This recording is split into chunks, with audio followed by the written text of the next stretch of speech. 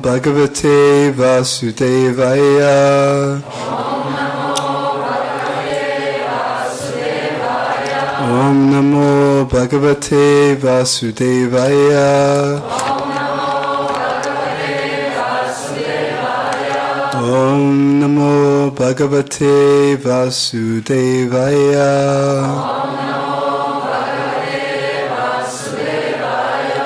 Okay, so um, thank you for pulling the slides up. So we're going to be discussing today um,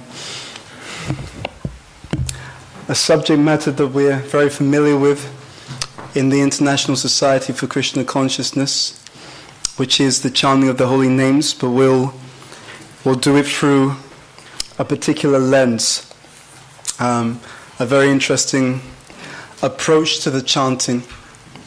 And this approach will be looking at our chanting in relation to the process of creation, how we became entangled in the material world, and how through the chanting, let me get the slides back, and how through the chanting we can reverse that process. So um, we'll be talking about the four levels of sound and also relating it to what we call the internal dialogue. So, to begin with, we're going to read um, some sections of the Srimad Bhagavatam, and then we will take the discussion further on from there. So, this is um, Bhagavatam first canto. Actually, no. I'll read this one first. This is Bhagavatam, third canto, chapter 26, text number 32.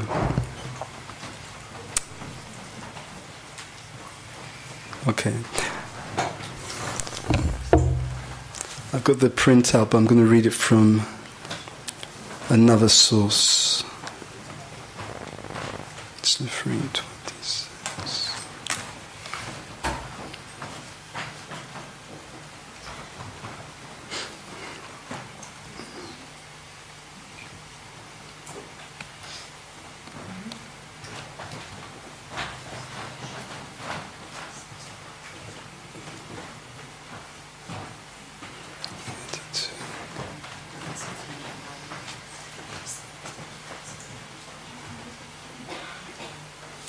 Okay.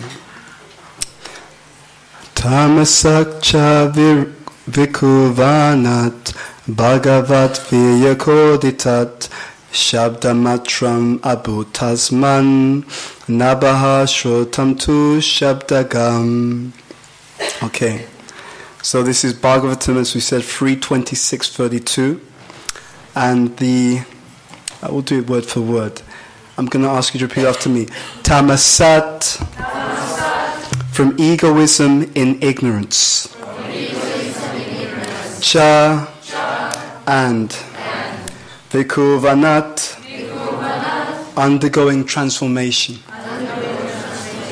Bhagavat Virya, by the energy of the Supreme Personality of Godhead. Koditat, impelled. Shabdamatram, the subtle element.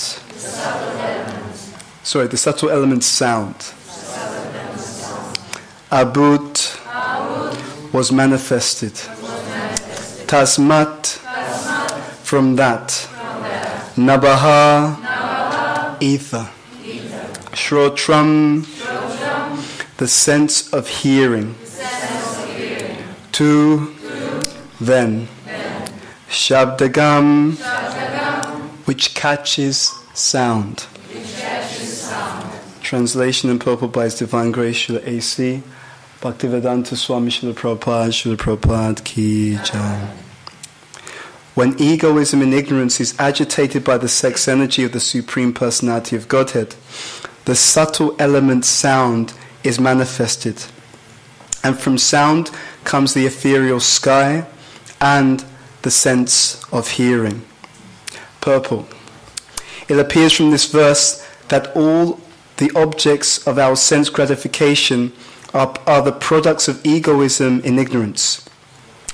it is understood from this verse that by agitation of the element of egoism in ignorance, the first thing produced was what?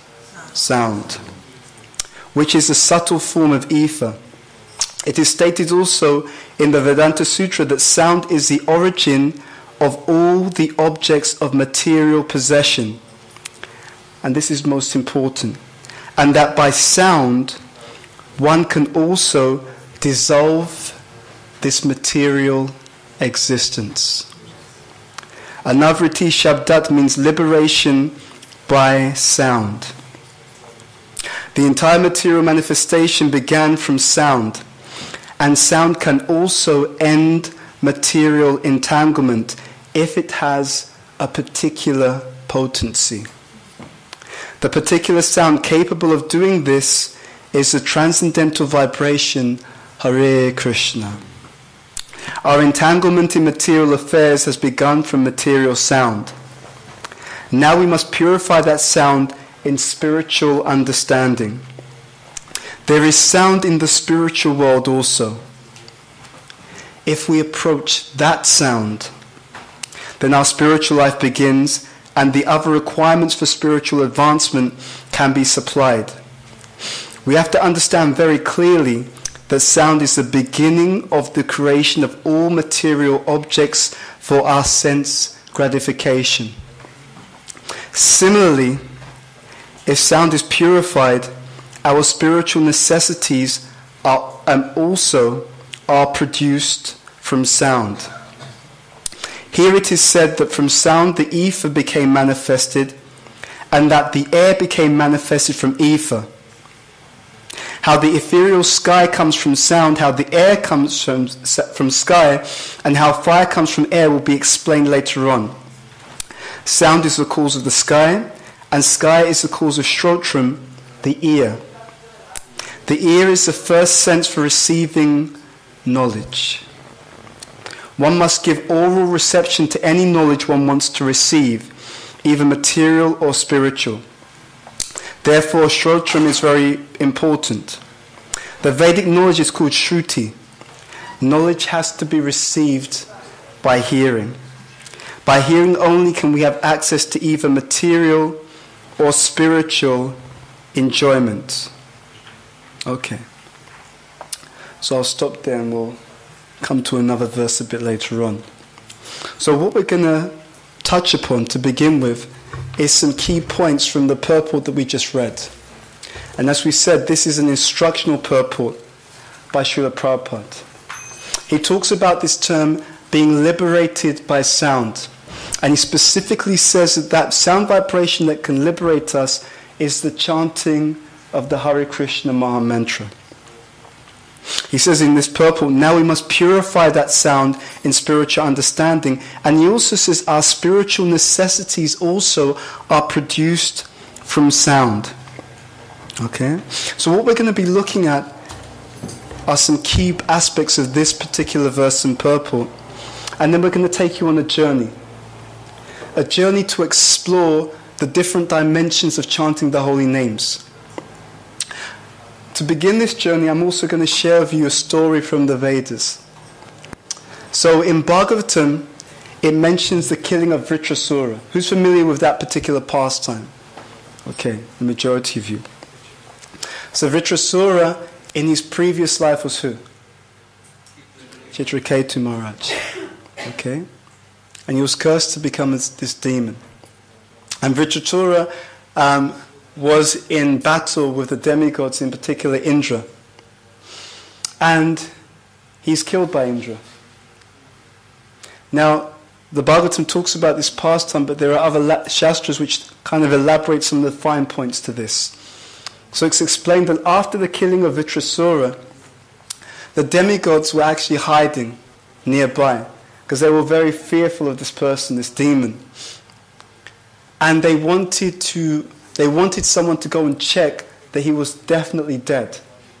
Okay? And so eventually Vayu, Vayu said, okay, I will, I'm prepared to go and check to make sure he's dead. But I'll do it on one condition.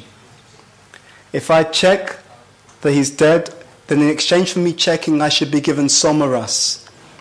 Somaras is a heavenly beverage. And so the demigod said, okay, you go and check he's dead, come back, confirm, and you'll get somaras. So, um, Vayu went to check, checked the body of Vritrasura, confirmed it was dead. He came back and said, all right, he's, he's definitely dead, don't worry. Now, give me somaras. At that point, Indra spoke up. And he had a complaint. He said, Look, this, this doesn't make any sense. I did all the work, I killed him. He just checked that he was dead. Yeah? So I should get the somaras, not him.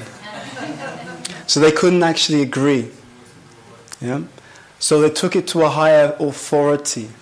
Actually, I can't remember who it was right now. My mind's gone blank on that. But the, the decision was made that they should share the somaras. So Vayu, being very quick, he went first. Yeah? In fact, one other point. So it was decided that they should share it. But the demigod said to Indra, if we, if we share, if we, if we let you both share the somaras, what do we get? And Indra said to me, said, I will make your speech distinct.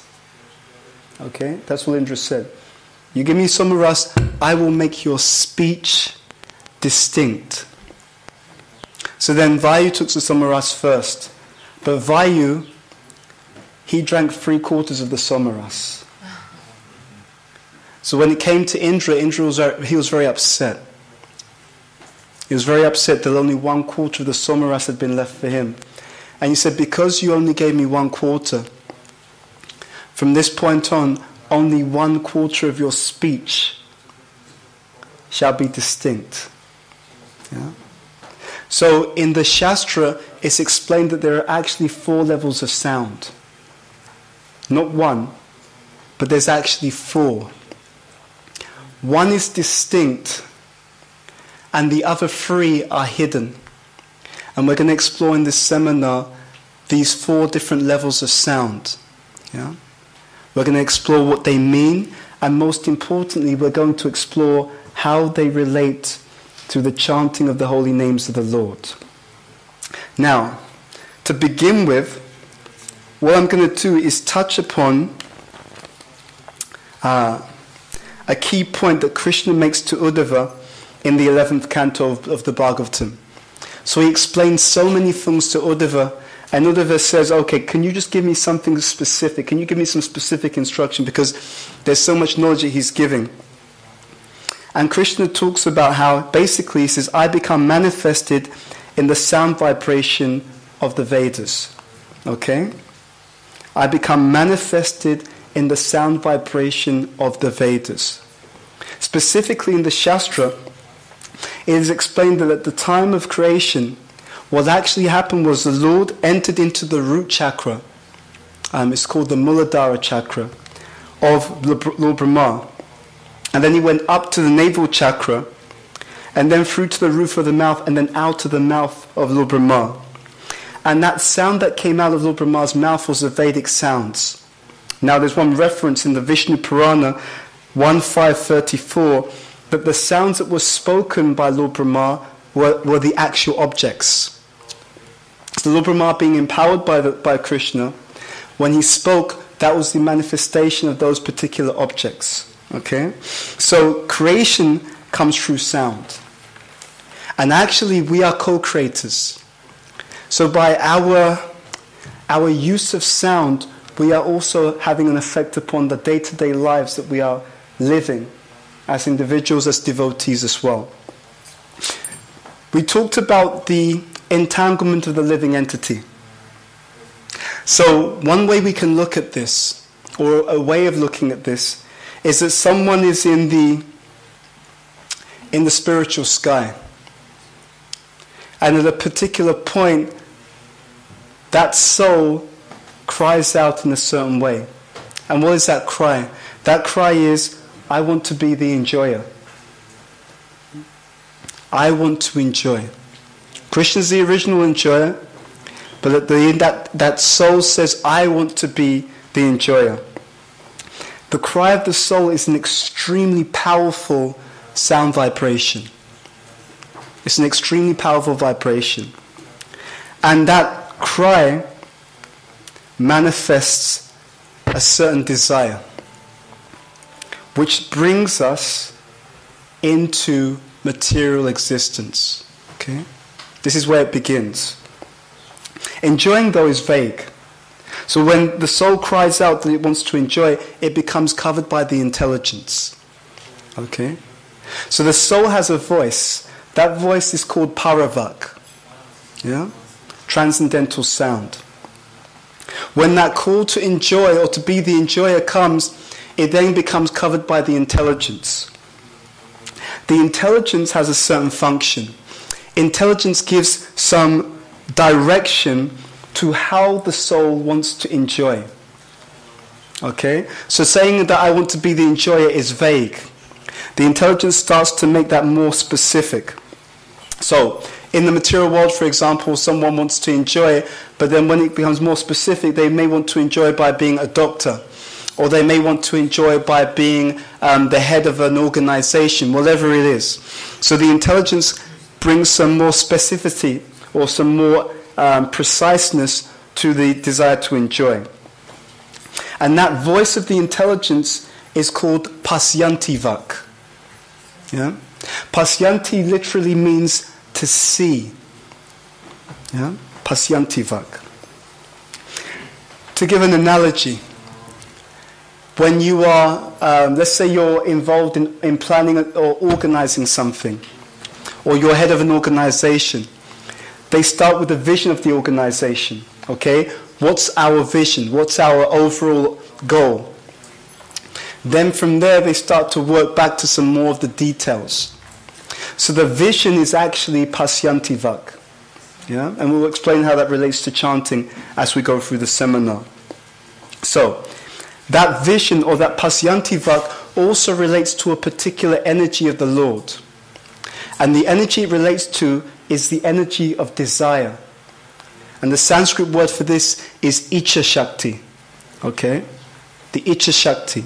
So Pasyantivak, the sound at the level of the intelligence, relates to what we call Icha Shakti, the desire, the energy of desire. Okay. As that desire goes further down, becomes more gross, it becomes covered by the mind. Okay? Now, what the mind does is it, it starts to give almost like the, the sub goals. So if you have a vision, you know where you, you know what you want to achieve, then the steps that you're going to take to achieve that vision, that kind of understanding, that's coming from the level of the mind. The mind also has a voice. The voice of the mind is called Madhyamavak. Madhyam means middle. Okay? And the Madhyamavak also has a certain energy that relates to it. And that is called Jnana Shakti. Yep? The energy of knowledge. And we'll, again, we'll explain how these relate to the chanting as we go on. So again, with the Icha, with the Icha Shakti level of intelligence, you have a vision. Then you start to put some more concrete goals around the vision. Okay? So for example, let's say that the overall vision was to make more devotees. But when it comes to the next level, you would say something like, we want to have 10 new people attending all of our programs every week. Okay, so it's become even more deliberate, more clear, or more concrete. Okay, so the last step. So let's go back. First of all, you have the sound of the soul saying that I want to be the enjoyer. Then it gets covered by the intelligence. The intelligence has a voice, so it's how it wants to enjoy. Then it comes down to the madhyamavak, uh, the sound of the, of the mind, which gives some specific steps to how we're going to enjoy. The last level, and this is called the Vaikarivak, is the gross sound that you hear. Okay? The gross sound that you hear. And the Madhyamavak, sorry, Madhyamavak is when the mind is speaking, Vaikarivak is, is the level of the body. Okay? So in this world, we hear each other's physical voices. We hear what each other is saying. And also, we chant with the lips. Hare Krishna, Hare Krishna, Krishna Krishna, Hare Hare, Hare Rama, Hare Rama, Rama Rama, Hare Hare. So the process of creation and reversing this process aligns perfectly with the process of advancement, excuse me, in chanting the Hare Krishna Maha Mantra. And as you go through this, you can get a sense of where you are on that particular journey as well. And we'll relate what happens at each of these different stages in terms of the chanting of the holy names as well. Okay.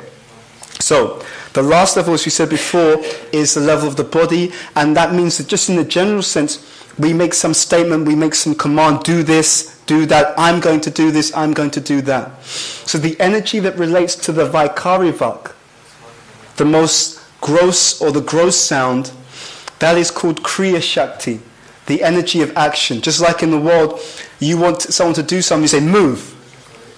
So you use your gross voice, and there's some physical movement or physical reaction. Okay. And the more that we use that gross sound, the more we become entangled in the material world, unless it's utilized in, this, in the specific way. As Prabhupada says here, now we must purify that sound in spiritual understanding.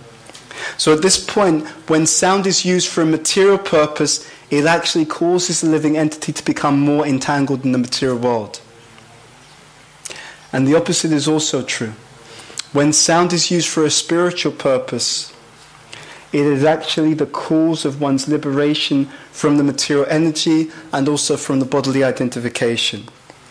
Okay, so the point is to chant and to chant in a, in a higher way. So we're going to talk about what it feels like to, to chant at some of these different levels.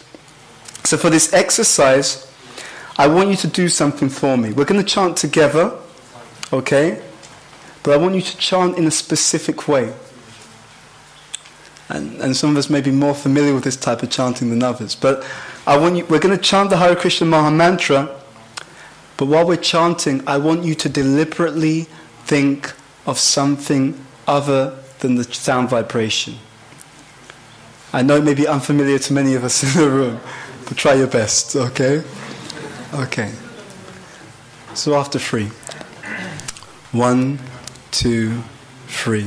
Hare Krishna, Hare Krishna, Krishna Krishna, Hare Hare. Hare Ram, Hare Ram, Ram Ram, Hare Hare. Hare Krishna, Hare Krishna, Krishna Krishna, Hare Hare. Hare Ram, Hare Ram, Ram Ram, Hare Hare. Hare Krishna, Hare Krishna, Krishna Krishna, Hare Hare. Hare Ram, Hare Ram, Ram Ram, Hare Hare. Okay.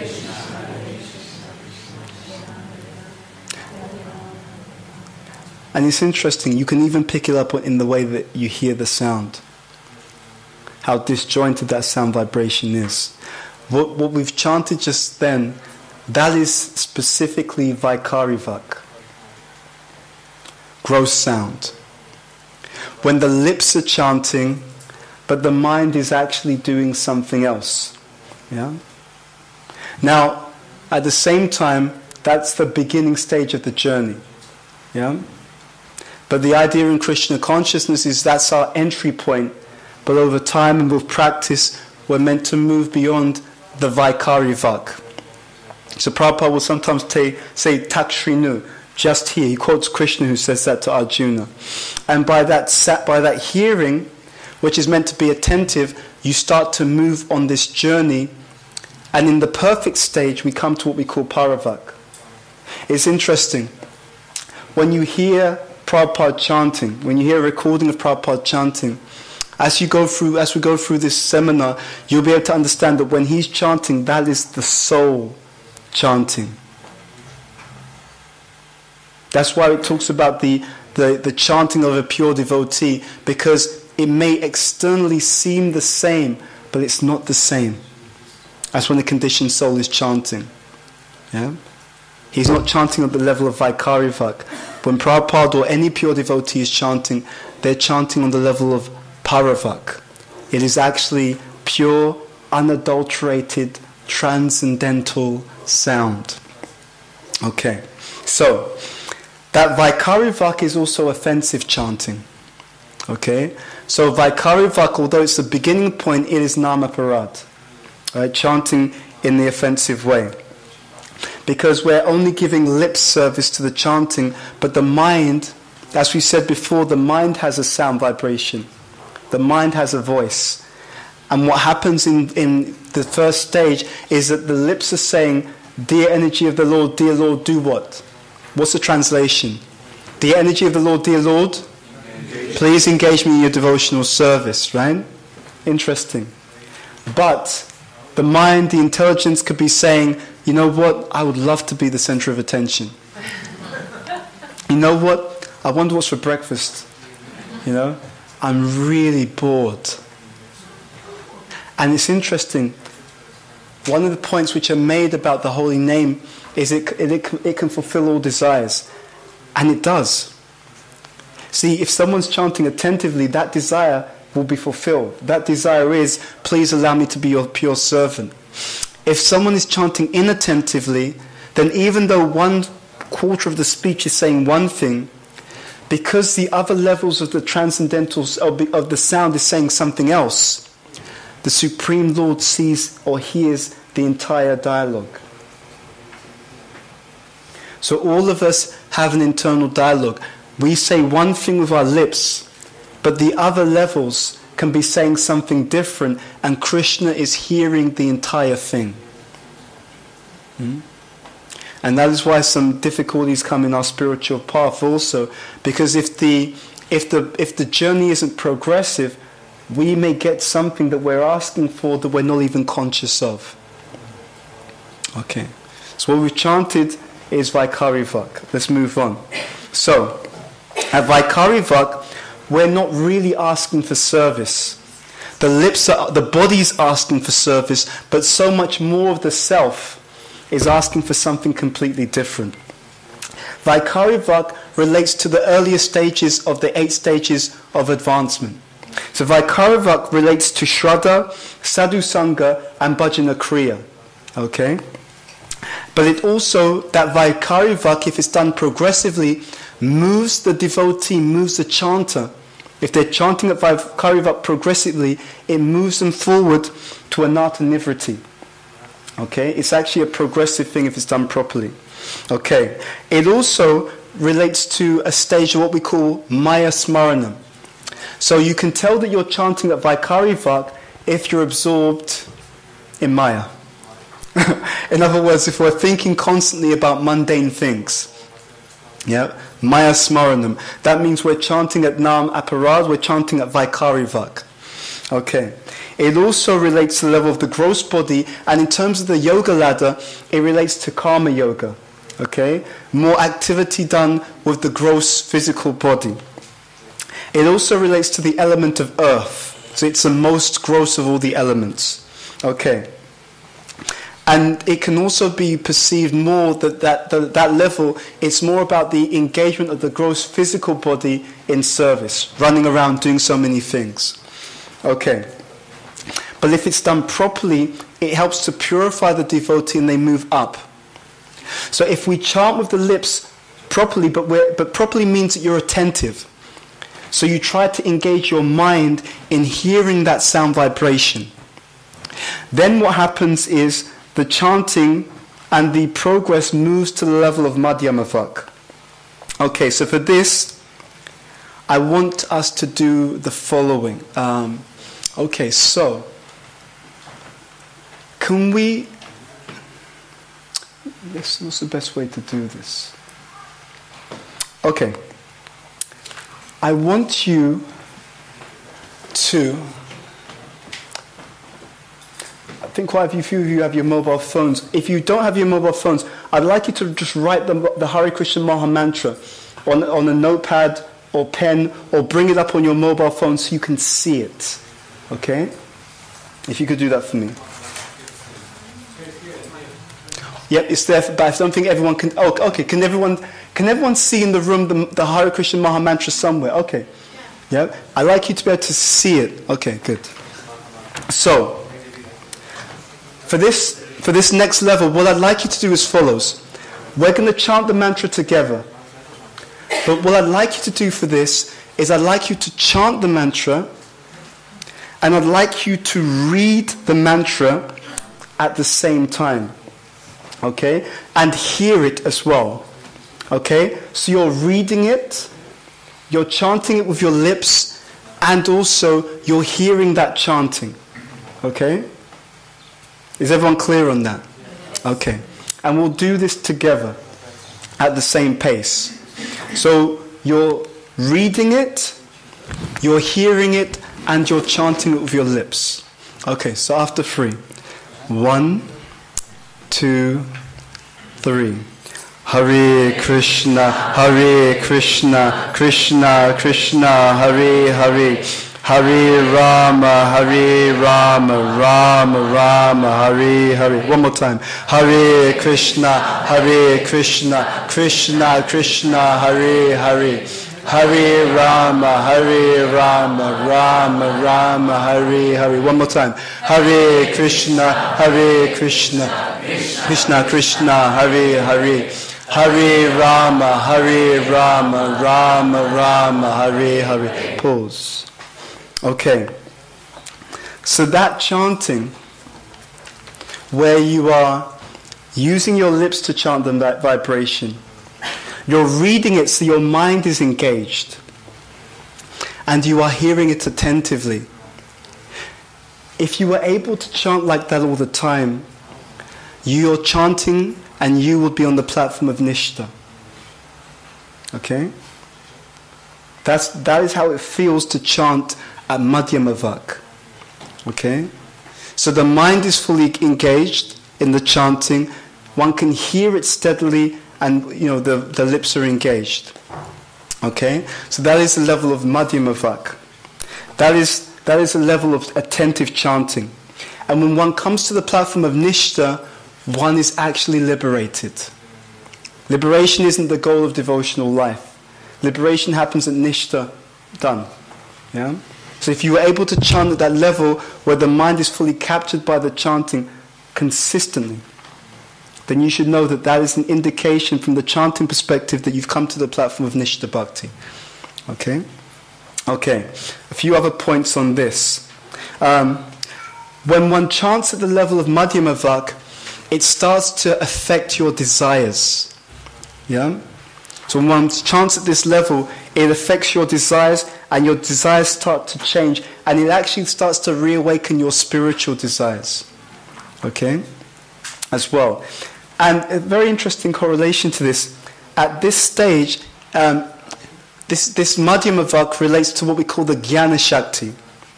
So you start to get a tremendous amount of real knowledge, spiritual knowledge. Not, it doesn't mean material information or facts, but an analogy that's given in the Shastra and this is what Krishna speaks to Uddhava about. He talks to him about the. Um, I'll read it to you actually. This is a purport. He says, uh, let's see. As from the wood, or no, this is a purport by Prabhupada, but he gives this particular point. As from the wood, the infested fire can be manifested by proper manipulation, or as butter can be churned out of the milk, so also the presence of the Lord as Paramatma can be felt by the process of legitimate hearing and chanting of the transcendental subject. Okay? So, the analogy that Krishna uses in the 11th canto is that by rubbing together firewood, you first you, you start to see the, the smoke and then the spark and then it becomes a blaze of fire.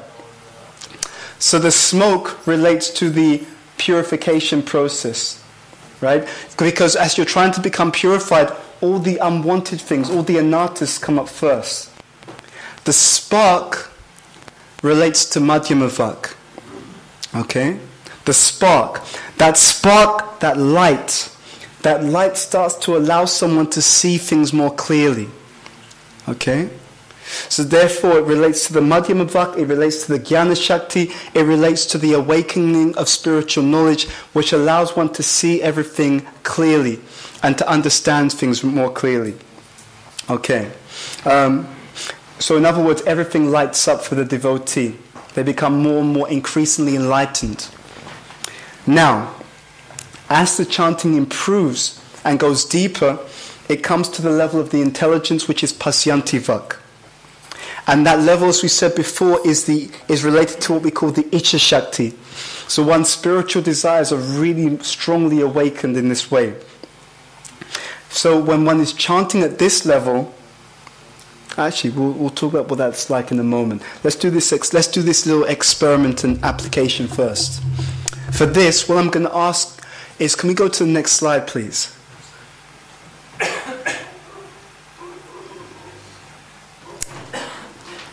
If you actually there's okay, and then do that again, please. Okay. So for this chanting, what I'd like you to do is look at the picture of Krishna. Okay? I'd like you to look at the picture of Krishna and I'd like you to try and get a mental image of that picture of Krishna. Just take your time to do this. Get a mental image of the picture of Krishna. And in a moment, what I'm going to ask you to do, in a moment, but not just yet, I'm going to ask you in a moment to hold the image clearly in your mind. But while holding the image in your mind, I'm going to ask you to look at the Maha Mantra. So you're going to have this in your mind, but you're going to look at the Hare Krishna Maha Mantra, and you're going to say the mantra in your mind, and you're going to chant the mantra with your lips. Okay, it's a little bit more complex but I'm going to ask you to try that. Okay? So, you're going to internalize this picture. You're going to hold that in your mind. While looking at the Hare Krishna Maha Mantra, you're going to chant with your lips and you're going to read the mantra that you're looking at in terms of the Hare Krishna mantra. Is that clear as an activity? All I want you to do is once, reading the mantra once through, okay? So inside yourself, you should see this. Outside yourself, you should see the Hare Krishna Maha Mantra. Listen to the sound of yourself chanting and chant out loud with your lips, okay? Again, after three. One, two, three. Hare Krishna, Hare Krishna, Krishna Krishna, Hare Hare. Hare Rama, Hare Rama, Rama Rama, Hare. Once again, Hare Krishna, Hare Krishna, Krishna Krishna, Hare Hare. Hare Rama, Hare Rama, Rama Rama, Hare Hare. Pause. So in the in this level, we asked you to internalize that picture. So in your mind, you saw this beautiful beautiful cowherd boy, Krishna.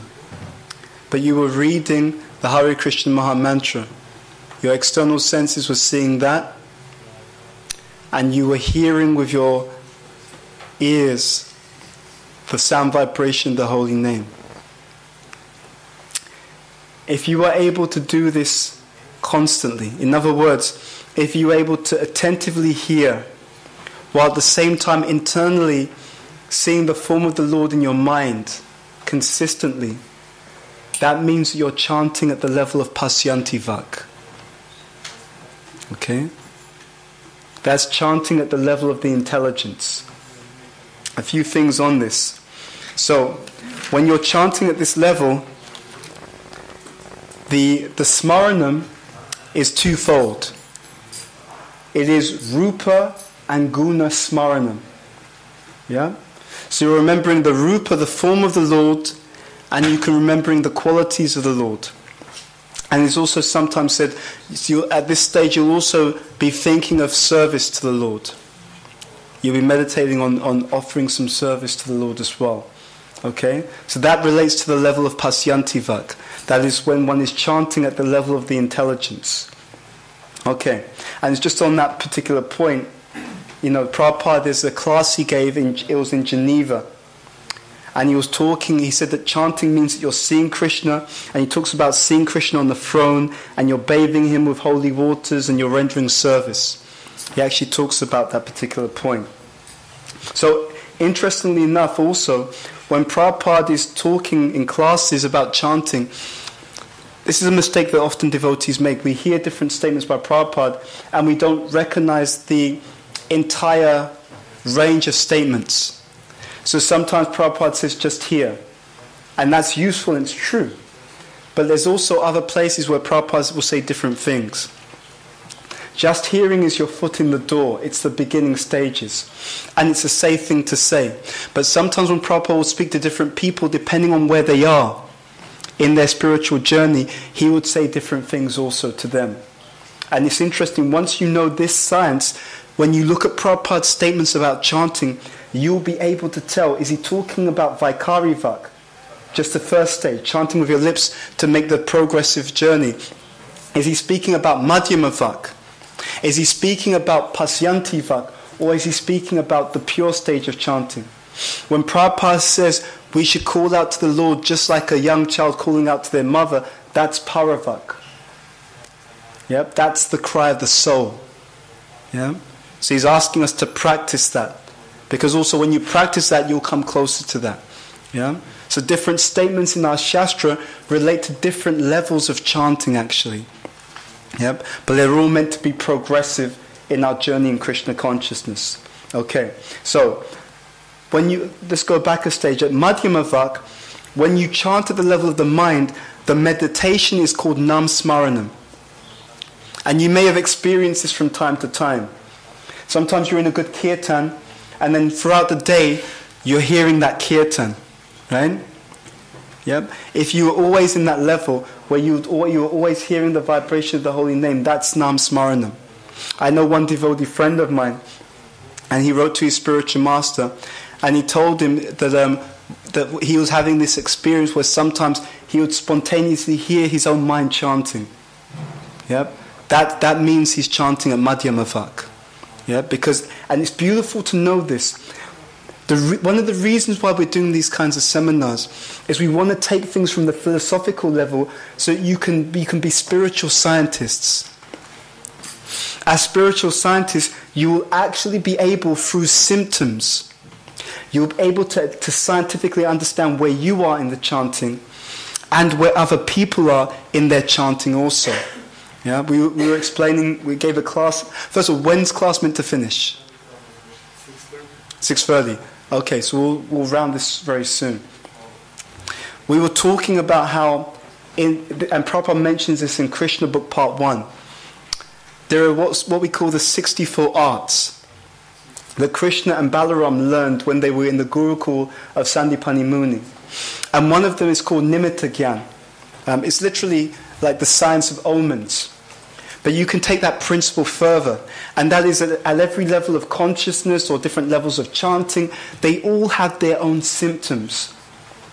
Right? They all have their own signs. So when you understand what the signs are at different levels, then you can understand where you are or where others are on that particular journey. Yeah? So sometimes gurus, they'll speak to disciples and, they'll, and they'll, the disciple will explain to their spiritual master, Guru Maharaj, I'm experiencing this. And because he's conversant with the Shastra, he understands that if they're experiencing this consistently, it means that they are at this stage in their spiritual journey. Yeah? Because everything has its own specific symptoms, and then he will give guidance accordingly based upon their specific level of progress. Okay, you're at this point in the journey, so for you to take the next stage, you need to be doing X, Y, and Z. Yeah? It really, it really is a transcendental science. Yeah? So by learning this, you can understand how to move forward. Okay, I'll just say a few more points on this particular aspect. So, at, as we said, that Madhyama Vak, it's the mind who's also chanting. The mind chanting, the lips are chanting. Therefore, this absorption and therefore this progress. At Pasyanti Vak, we mentioned that you can reform, you tend to recall the form and the qualities of the Supreme Lord. Okay, and we mentioned that additional point. Now, if you're not at the level of Asakti, what happens is every now and then you may get a taste of this. You may have this, what we said, Madhyama, um, this Pasyanti Vak experience, where you remember the form of the Lord and you're also able to hear attentively and so on. But if you're at Asakti, that's consistent. At Asakti, you have the, you have the remembrance of the form, the qualities, you can hear the sound vibration, etc. Yep. Before that, you will not have this experience consistently. That's also the other thing to remember about spiritual life. Every now and then you can get a taste of some higher level of spiritual progress. But the level that we are on is a level that you consistently experience. Do you understand that point? So, so even when we talk about how someone got some, some special mercy, yes. You may, have, you may have had experience where at one point you may have chanted, one day you were chanting and spontaneously the form came and you were remembering Krishna's form and you were hearing it, it was very blissful, and then the next day it went back to normal again. Yeah. yeah. Very interesting. So we, we sometimes, by the mercy of the devotees, by the mercy of the Lord, get a taste of different levels of spiritual progress. But we don't necessarily stay there. Okay, that's how science works. Okay. But the point is that if we keep making progress in our spiritual practice, Krishna will see that you're making progress and he'll see, he'll see that you're endeavoring, sorry. And because he sees that you're consistently endeavoring, he will give you mercy and that will move you forward. Okay. So, also in addition, when one comes to Paravak, because it's like the blazing fire, at Paravak, you come to what we call Lila Smaranam. So at Paravak, you remember, you remember Krishna's pastimes, you're absorbed in Krishna's pastimes, you're absorbed in your, in your service or your um, engagement in Krishna's pastimes. And as Srimad Bhagavatam, in Bhagavatam 4th canto, chapter 22, text number 26, it talks about how it, one, one becomes awakened in that sense to the pastimes of the Lord, and literally the material body and the material identity becomes dissolved. Okay? So no, you're no longer thinking, I am this body. You actually realize as, as, an, as an eternal servant of the Supreme Personality of Godhead.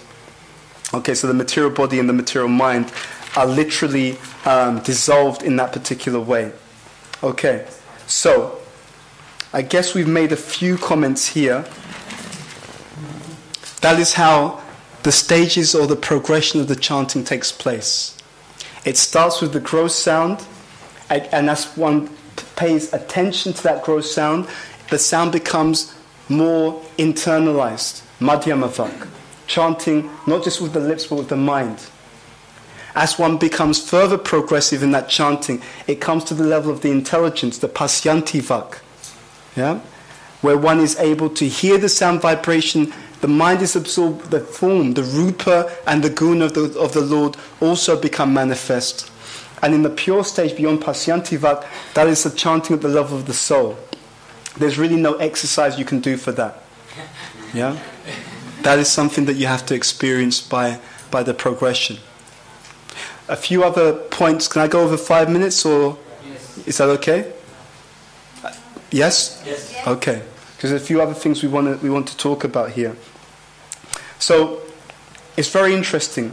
There is one place in which Prabhupada talks about how Krishna is not partial. He says everything depends upon one's own personal practice. So there is one statement there which says that you have to endeavor for this. But interestingly enough, there is, there is another place where Prabhupada says it is not by the mechanical process of hearing and chanting, everything depends upon mercy, basically. The mercy of the spiritual master, the mercy of Krishna. So both things are absolutely necessary. And the two things are reconciled in 10th canto Bhagavatam, in Damodar Leela. In Damodar Leela, we see that Mother Yashoda wants to bind Krishna. And she goes to great lengths to bind Krishna. So if she gets all the rope from her own house in order to bind Krishna, is it enough? No. She then gathers up all the rope from her friend's house. Is it enough to bind Krishna? No what happens is that Krishna, and she's actually sweating. It's actually interesting. In, in, in the Shastra, it says the demigods do not sweat. The demigods don't actually sweat, but the residents of Vrindavan, Yashoda Mai, she's sweating. She's endeavoring so hard. But at a particular point, Krishna decides to be merciful and he allows himself to be bound. So, in our process of chanting, the endeavor has to be made but the endeavor is to attract mercy, and when the mercy descends, then our chanting will be perfected. Then we will come to that platform of chanting at Paravak. That is the chanting actually of the soul, beyond even just the physical body, the mind, the intelligence, etc. Okay. So these are just some considerations around the chanting of the holy names. Okay? It allows us to understand where we are. It allows you to even understand those times where you've experienced some mercy, where you experience chanting of a higher nature. You can also see where was that chanting? What level? Was that just a gross physical lips? Was it that the mind was chanting? You may have sometimes experienced your mind was just chanting Nam Smaranam. You're going around in your day, you're hearing Hare Krishna, Hare Krishna, Krishna Krishna, Hare Hare, Hare Rama, Hare Rama, Rama Rama, Hare Hare, Nam Smaranam. Okay, yes. So when I had that experience, that meant at that time it was Madhyamavak. Yeah? Chanting at the level of the mind. There may have been some times in your day or in your, in your Krishna conscious life, you were chanting and you could actually remember the Lord's form the deity's form, the Lord's form, and you remember that in your mind while you were chanting, while chanting attentively. That was Pasyanti Vak. Yeah? So our day to day experience indicates where we are on this particular journey. And if you understand this and consciously practice this, you'll be able to move forward very, very quickly in your spiritual process. Yeah? Very quickly. By knowing where you are and what you need to move forward. The other benefit of knowing this is that when you're dealing with others, new or experienced devotees, you can understand where they are in their journey of chanting, and then you can give them direction or guidance accordingly to help them to move forward. Okay? But the key point is that in all, in all situations, the most powerful thing is to try to chant attentively. Okay, maybe tomorrow in the class we'll, we'll talk about the, the unique combinations that everyone has. We've been, we've been thinking a lot about how spiritual life is unique for each and every one of us. We've all come in with different types of karma. We all presently have a different nature. So, what helps you to unlock your chanting is not, is not necessarily the same thing that's going to be most useful. Everything can be useful, but it won't be necessarily the same thing that's going to be most effective for another person to unlock their chanting. And this is based upon a statement by Prabhupada where he talks about the, the, devotion, the ninefold devotional service and how it can take place in different modes. Anyone heard that before? Yes. I think it's mentioned in Nectar of Devotion as well. I think it's, well, it's definitely mentioned in Bhagavatam. So we have nine limbs. Nava Anga Bhakti, the ninefold process beginning with hearing, chanting, etc. But each of these can be done in different modes. And then each of those can be done in sub modes. So we'll touch a bit more about that tomorrow. Because what we want to do is start us on a journey it's a real journey, but it's on a journey of personalizing our Krishna consciousness. Starting to, to Prabhupada says we, our movement is transcendental personalism. But we don't always act that way. So, what we're trying to do in this journey is think what particularly helps me to chant? For one person, they may get, find that they get very absorbed when they're sitting before the deity, looking at the form of the Lord and chanting, and it particularly helps their mind to be focused. For someone else, they find that the way that they get particularly focused is if they do prayers in the beginning. That particularly affects them and helps their mind to be less crazy, to be more absorbed. For someone else, it may be that they um, find that when they read something and reflect on something about the holy name before they start chanting, that really helps them to get focused. What we're going to try and explore tomorrow is what is that unique combination that works for you in your chanting so we can move forward on our particular journey. Okay, so I think we'll stop there. Thank you very much. Are there any questions before we close? I saw. How much time do we have for questions? I don't want to go over time because I know I'm conscious of arati and different things. So first of all, what's what's the limit? Because then I can take questions accordingly.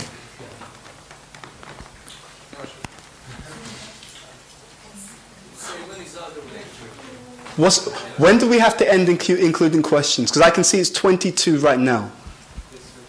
How long do we have? Five minutes, ten minutes? Second class is 7 o'clock. Second class is 7 o'clock. Okay. And okay, that's, that's then in that case, let's yeah, let's start here. Thank you. Okay, don't pass the microphone. Yes. Thank you for your class. Uh, I have a question. You spoke about uh, remembering the Lord and having the vision of the Lord in the heart. I was reflecting many Prabhupada disciples. Uh, I've seen many leaving the body, and often they'll meditate. They'll tell us, bring us picture from Srila Prabhupada. Let's let's see Srila Prabhupada last. Mm. So I was reflecting how important is that we remember spiritual master while chanting. How beneficial is that we remember his form he maybe look at his picture when he, when we're chanting or uh, remembering his instructions. Where is this level at? So, in terms of remembrance of the spiritual master, I'm just I'm just processing this in my mind. What I'm recalling when you're asking this question, to be honest, is I recall my spiritual master sitting before his guru. I'm recalling my spiritual master sitting before Prabhupada and chanting. And he would have a very strong um, meditation, which he actually shared with one of his god brothers who, who shared that.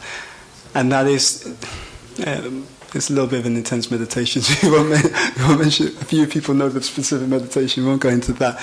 But the point I would say is that um, I'm actually not sure what level that's at. I'm not sure. I was thinking that it may be at Pasyantivak because there's a form there. But I will have to. I will confer with. I will confer with some seniors before we say that. But you, it is. A, it is a practice you can do. Yeah. But the main thing is to hear the name. Yeah. And and you can tell that the practice is appropriate for you if it allows you to hear the name better. That's the litmus test.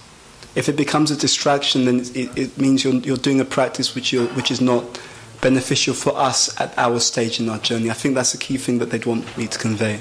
Is that okay? Okay. Thank you. Good question. Who else had their hands up? Mm. Okay. All right, what we'll do is we'll take something from the ladies' side and then we'll come back. Is that okay? Just to make sure everyone has a chance to, to ask a question. So this, they're just going to pass the microphone over.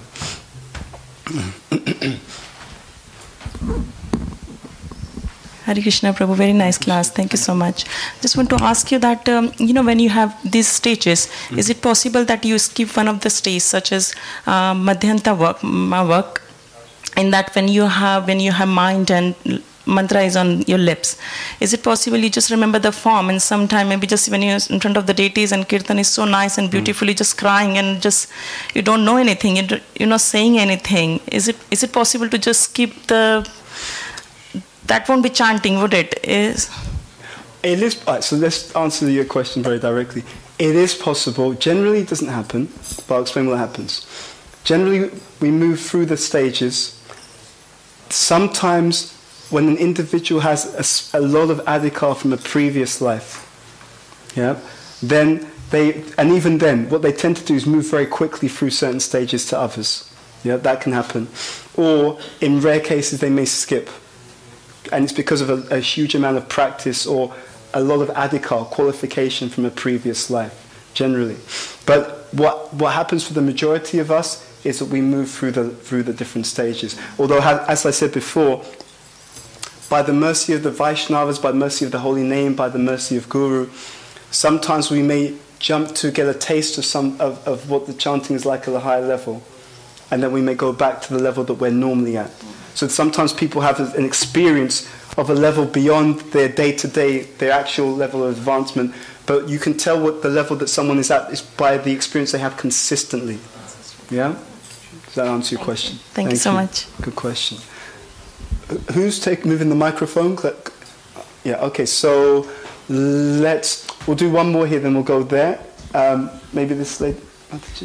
Uh, Thank you, Bhuta Bhavana Prabhu.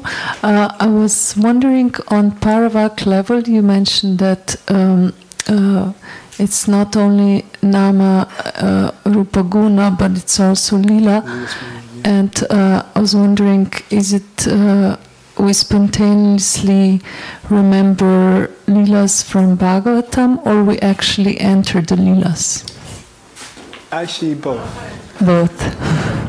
Yeah.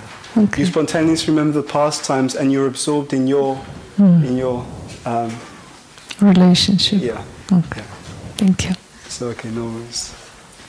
If we could pass it back this way, who had the question on the men's? Okay, we'll just.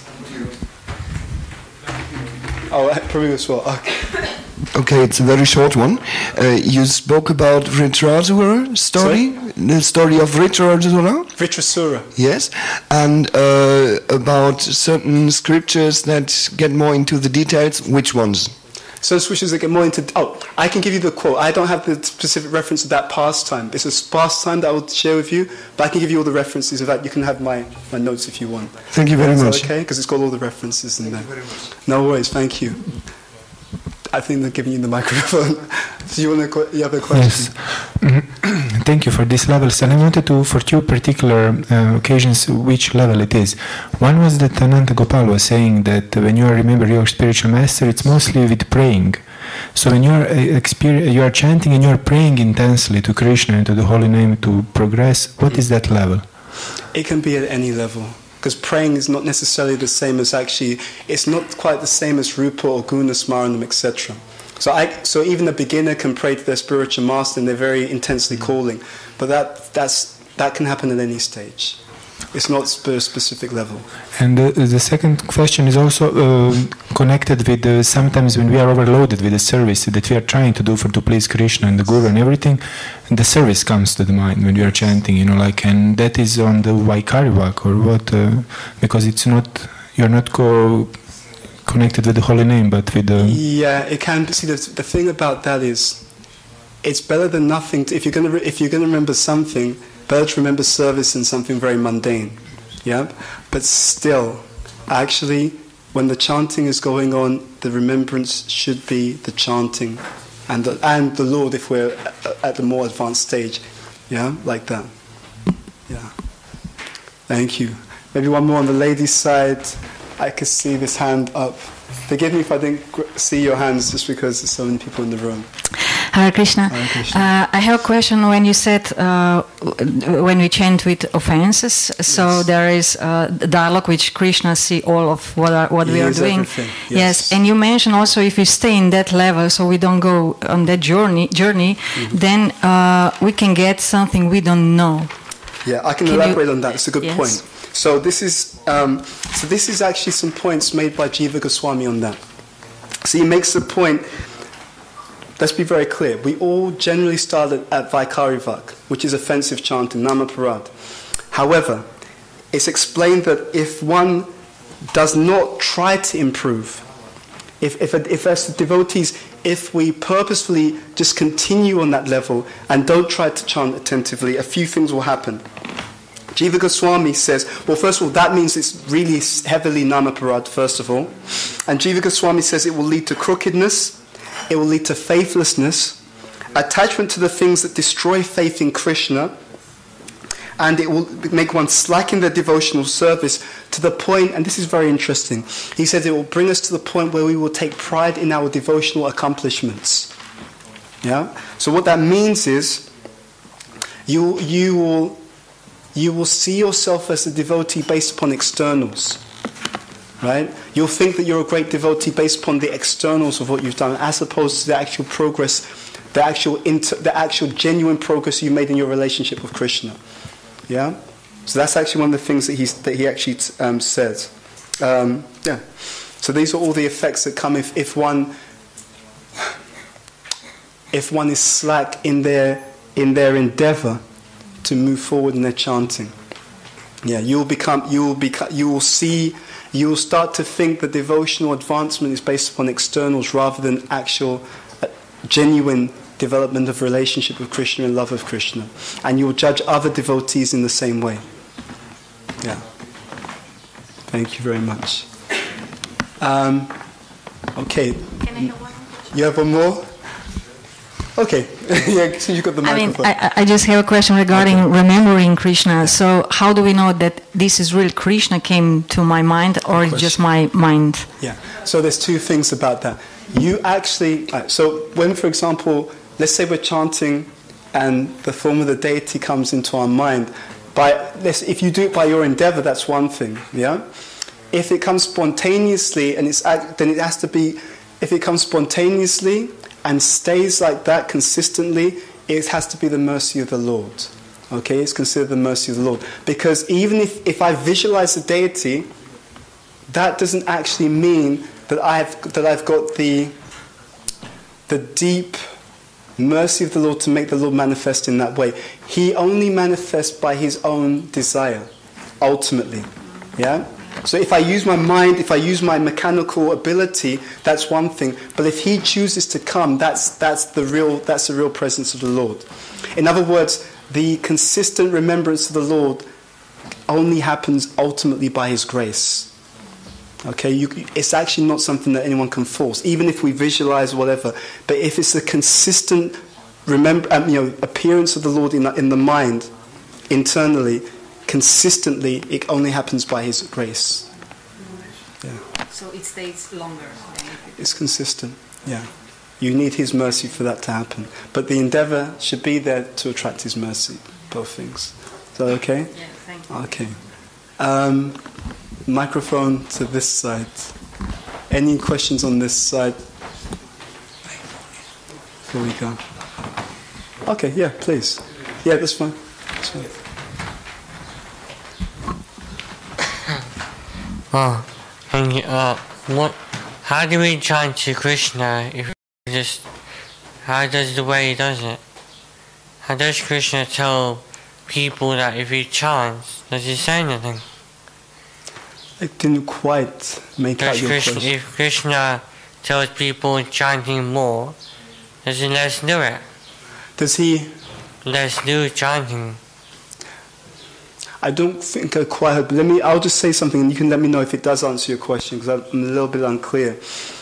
Was your question that if we chant, does does something happen or does less happen? Was that your Let's question? happen. Not necessarily. I mean, to be honest, when you chant, a few things can happen. If we mm. practice chanting mm. properly, then we will get more of a taste for chanting. That's the first thing. And if we practice chanting properly, we accelerate through the different stages. So we, we come to see ourselves. So as we said, to use the analogy with, this, with, the, wood, with the firewood, first the smoke comes up. That's our anarthas. We start to see all the, all the impurities. Lust, anger, envy, pride, greed, illusion. We see, you really see that. If we keep progressing beyond that, the spark comes, Madhyamavak. That gives the, the Gyan Shakti. We start to see things more clearly. The spiritual knowledge becomes more manifested. So the Gyan Shakti increases. If we keep practicing, we come to Pasyanti Vak, where the Icha Shakti becomes stronger. So our spiritual desires become stronger. Our, our original desires to really serve Krishna become strongly awakened. And then when we come to the pure stage where it's Paravak, then we come to the full illumination of our relationship with Krishna. And we, and we remember Krishna's pastimes spontaneously. I'm not sure if that fully answered your question, but that's what I can make of what you were asking. Yeah? Okay. Thank you very much for. Okay. Any last questions? Okay, maybe one more from this side, please. And I should give you guys a break before the next class. Hare Krishna, Prabhu. Hare Krishna. So, question is around severity between aparads and the varks that you've got, And the and the varks that you listed, the four four low stages, four levels. four Okay. levels. So, there's a severity. So, we learned a lot about the aparads earlier with um, uh, Jankinath Prabhu last night. So, does the severity become intense on the different levels, or is it still the same? Uh, is there any any? And Nishta, one is not chanting Namaparad. So when you get to Madhyamavak, it's not Namaparad. Namaparad takes place before Madhyamavak. Yeah? So Namaparad is to do with Vaikhari Vak. when one comes, when one makes further progress, they're not chanting offensively anymore. And if they keep doing that, then they just continually move on that particular journey. Yeah. Okay. Okay. Thank you very much. Okay. So we'll stop there. Um, I'm tempted to give you an exercise just to think about this. For tomorrow's seminar, I'd just like you to think about times in your spiritual life where you um, were chanting and it was really, you were relishing it. It was really positive, strong, attentive. And just think about what were some of the circumstances, what were some of the things that you were doing devotionally, etc. What were some of the circumstances in your life at that time that may have helped you to chant in that particular way? Okay, and we'll discuss and explore this more, this theme more tomorrow.